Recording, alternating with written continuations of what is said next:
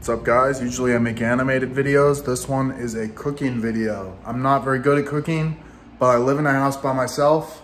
I'm also trying to learn about surviving.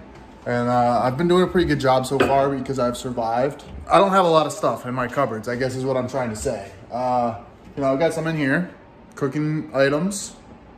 You know, I've got some granola bars and fruit snacks. That's pretty good. But anyway, yeah, I'm gonna show you um, how to make a steak. So I got this steak. This is a New York strip steak. I watched two videos about how to make a steak. And before I used a um, thinner cut of steak and I followed a Gordon Ramsay video and that worked great. But then I tried a New York strip steak with that same method and it didn't work because the middle was still cold. So that wasn't as enjoyable. But uh, yeah, I mean, basically watched another video. Now I'm even more educated on steak making and we're gonna see how it goes and I'm gonna give you a rough explanation of what's going on, I guess. If you like this cooking video, let me know. And if you don't, also let me know and I'll probably cry about it later, but we'll get over it, I guess, together. So if you like this, if you like this cooking video, let me know. And uh, now we're gonna get started. So what I'm gonna do is put, here, let's see, left front. I'm gonna put this one on like medium warm, so a little past medium. So some people like to cook their steak on the grill. There is a um, charcoal grill outside, but it's my roommate's. And my roommate doesn't really live here. He lives somewhere else, so uh, I could use the charcoal grill, but to be honest with you, I've never cooked on a charcoal grill before. So yeah, here's the pan. I'm gonna use it. It's gonna be medium hot. I guess I don't need the heat on yet because I have to do the seasoning, but I'll put that on in a second here. To be honest with you, I pulled this thing out of the packaging and I actually let it thaw for about an hour. But in that packaging, I guess the um, styrofoam under part kept the bottom cold enough that it's still iced up right here. So what we're gonna do is uh, microwave this a little bit. And then that way it'll thaw it out a little bit. Okay, this is fine. Um, it's all squishy. There's not really any ice anywhere, I don't think. I'm gonna put some seasonings and stuff on it. Okay, so I'm gonna start with Himalayan pink salt, extra fine. It's um, Himalayan, so you know it's good. I don't know anything about Himalayans except there's a mountain there, or a few mountains. So that should be a lot. Probably too much, but we'll be okay. Just pat it around, smack it, make it all salty. That's the goal. Hopefully this is fine. Okay, flip it. You want to get both sides. Now my hand's all greasy, so I got to use my other dry hand to get the seasonings and stuff. You know, it doesn't have to be perfect. Better kinds of salt will be better for this. And by that I mean the salt I used was probably not ideal. I'm going to use Tony Chachere's the original Creole seasoning. I love it. I put it all over like different meats that I cook and stuff. And uh, yeah. Oh man, it's all soggy. I forgot to desogify it with um, with uh, paper towel. That's what the video that I watched told me to do. And now that it's really warm, I'm sure it's like super damp, which is not ideal for, I guess. Some of it is blood also, but I think we'll be okay here. Okay. There's no way I'm gonna get it 100% dry, especially now that I've started the process of seasoning it and stuff we'll be fine. I'm just gonna put a little seasoning on there for what I took off by mistake. See, it's wet already on the downside, so, oh well, we'll be fine. This is gonna be so seasoned, so anyone watching this is gonna be just amazed. And they're gonna say, wow, that's way too much seasoning. A New York strip steak has um, this fat that runs along this side of the steak. I have to make sure that I can find some of those tweezers things.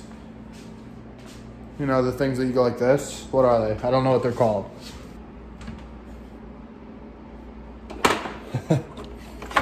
okay. My face looks so bad from that angle, but that's okay. I've got this these scissors. I'm gonna use them like they're those things that you grab onto stuff with.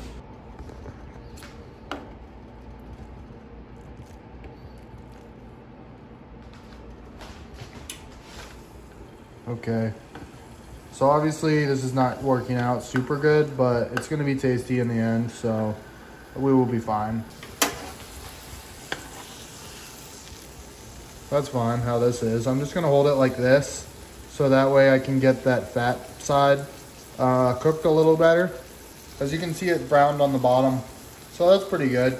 The heater's on kind of hot. I put a little bit of um, butter in the bottom, so hopefully that will help. I'm sure it will be, end up being pretty good, but I'm not a um, Picasso of steak, so it's a little difficult for me to um, practice skills that I don't yet have. Okay, so that's what the fat looks like after I cooked it for a little bit. Sometimes you just have to try stuff. You figure it out as you go, and that's that. This is kind of a cool angle. I look like uh, I look like I'm an Instagram guy or something. That's pretty good. Wow. Okay. So yeah, right now it's just sizzling. You try to flip it and see what happens. True people, oh man, oh I'm coughing on the uh, Cajun seasoning fumes that are just going inside my, my brain right now. Okay, so people who are experts at cooking steak are gonna say, come on man, you only have to flip it once. Well, guess what? I'm not that good at this. I'm figuring it out, okay? So give me a break. It's gonna be delicious at the end, so that's all I'm really excited about. I'm gonna add a little bit of butter and then I'm gonna splash it all around all over the place because that tastes good. And when I say a little bit of butter, I mean a lot of butter. And then I'm gonna splash it right back up on there.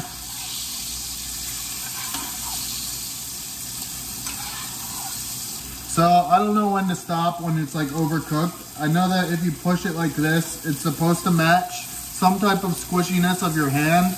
Like right here is uh, well done or something like that. Okay, so don't take any advice from me as far as this goes because I don't know what I'm talking about yet. Some of the angles of the meat. So I'm trying to get like that funny little corner there that didn't really touch the actual hot surface. Maybe right there.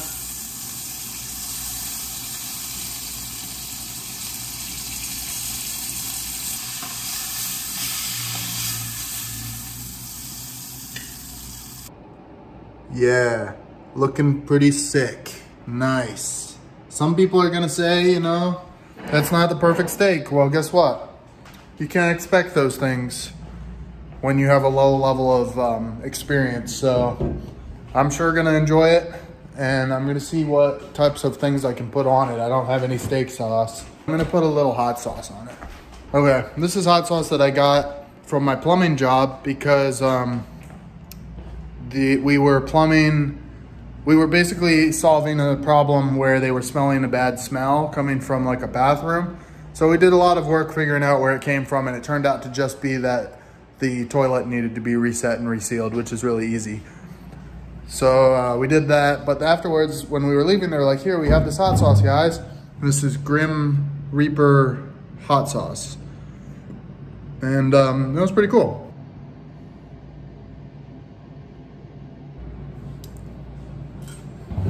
Maybe if I sit over here, you can see me a little. Cinematography. All right, let's give it a shot.